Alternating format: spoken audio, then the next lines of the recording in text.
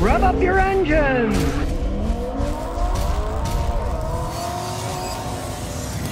Here we have a conundrum we're going to try to figure out. It's a 2003 Z car, bought relatively cheaply, and it didn't run right. Seemed like maybe the engine had a problem. A good running engine from a car that it was seen running before it was bought. Then after it was seen to run good, it was put into this thing. And then it ran good, which was great. But there's one problem. It only ran good for about five minutes.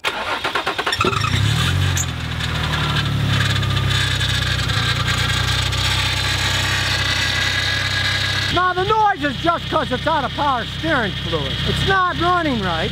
I'm trying to figure out why. Now you might think, oh wow, put a whole engine eh, in there, maybe that's not the problem. What a waste of money. Well, this is a soldier here, and they're wise with their money.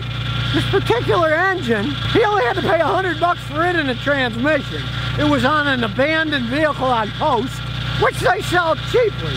And since he heard it run good, he knows it's not the engine. And he's got a spare transmission now too.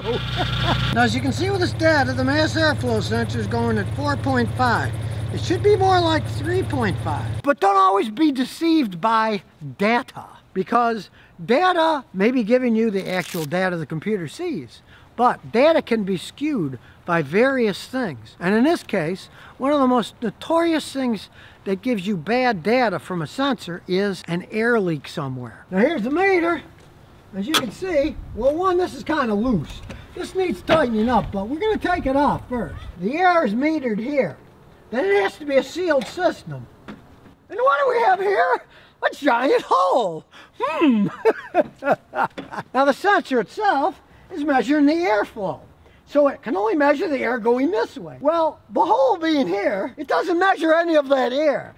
So it's going to give totally wrong data to the computer. The computer is going to be so confused, and that's why it has such a bad idle. But if you noticed, I revved it up.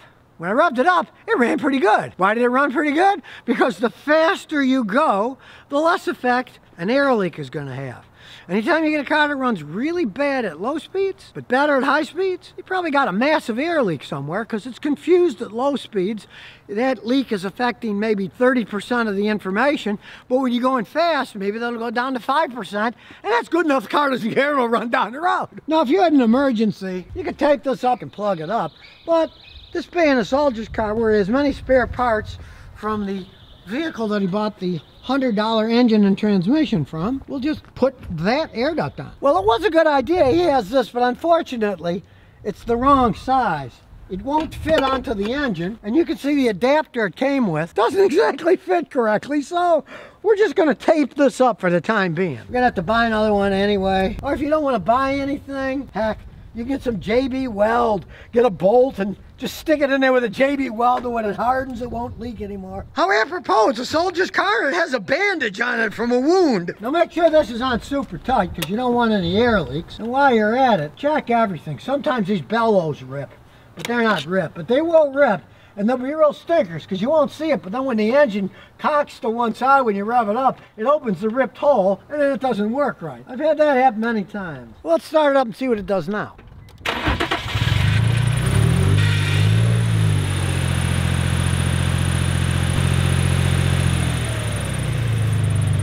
Well, it's no longer conking out like it was. Let's take it for a ride. Here we go for a short spin.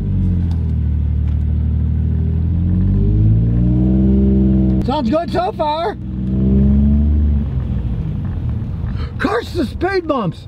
They even have them in military encampments. Well, the saying goes, you got good news, you got bad news. The good news is, the engine's now in excellent shape. Idles quite fine. It won't accelerate well because the transmission's got a problem. You can see here, it's got some absurd data. When the car was not moving, it said the vehicle speed SE was 29 kilometers an hour, even though the vehicle speed was zero. Now I could tell by driving it had a transmission problem because one, there was too much slippage, and especially in reverse, it would barely move at all. He got lucky in one respect that now he has two engines because the original one obviously didn't have a problem. And he also got a new engine here and a transmission for hundred bucks. It was from a wrecked vehicle. There was nothing wrong with the engine and transmission, but the frame was all bent up.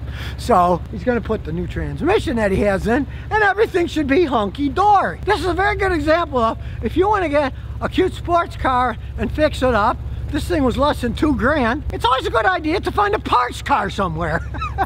Especially on these, because they've got a lot of interchangeable parts.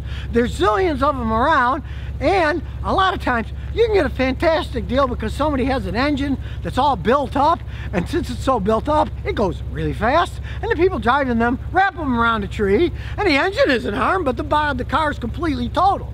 So as in his case for a hundred bucks he got everything he needed and all he has to do is put the transmission in from there. Because if you can get a car that looks like this for less than two grand and spend a hundred dollars for an engine and transmission that's not a bad deal I don't think there aren't a bunch of them out there. It's a perfect example of one.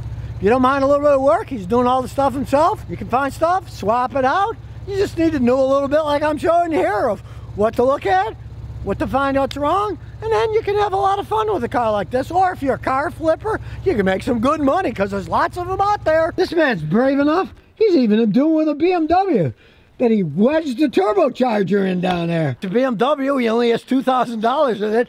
That's the advantage of BMWs on one hand. Yes, they're expensive to buy new and fix, but when they break, a lot of people give up on them. There are many of them around with lots of good parts on them that you can get dirt cheap if you don't mind messing around with it yourself.